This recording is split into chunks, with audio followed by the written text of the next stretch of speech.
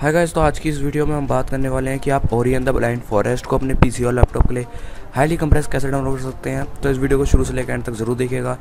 तो वीडियो को शुरू करने से पहले मैं आप लोगों को बता दूँ कि ये काफ़ी हाईली रिक्वेस्टेड वीडियो है। नीचे आप कमेंट पढ़ सकते होंगे कि किन किन ने ये मतलब इस गेम की रिक्वेस्ट की थी। तो इस वीडियो की हम एम रखते हैं सौ लाइक्स इतना तो कर दीजिएगा।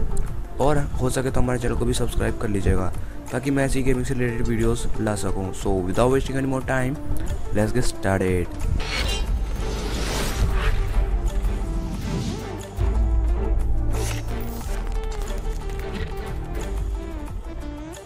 description में मैंने लिंक दे दी है, वहाँ पर जाइए गेम को डाउनलोड कर लीजिएगा। उसके बाद आपको कुछ फोल्डर दिखा देगा। फोल्डर के अंदर आपको अपना गेम का सेटअप दिखाई दीजिएगा।